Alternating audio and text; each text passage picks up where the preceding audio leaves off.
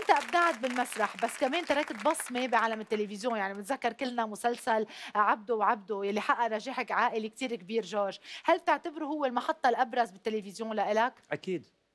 وبعده لهلأ بينعاد بس أنت ما عم تشرب. بلا بلا بلا. هلأ رح نصهم بالأرض بس عم بشرب الباقي. okay. بس أنا بدي أعمل لك سكر الليلة. تفضل. إيه هو المحطه الأبرز لك بالتلفزيون؟ already السكر عالي من, من, من أول فقرة. بس محطة إيه هو المحطة الأبرز لإلي بالتلفزيون عبده عبده كثير بفتخر فيه.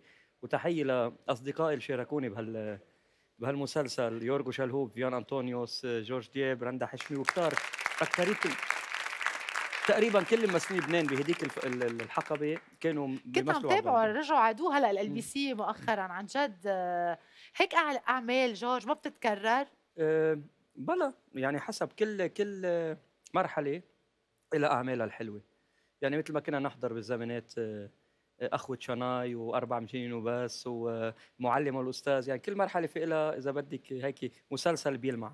فيك ترجع تحضر هالحلقة من فيميل عبر application ال LBC اي ساعة اللي بدك ووين ما كنت.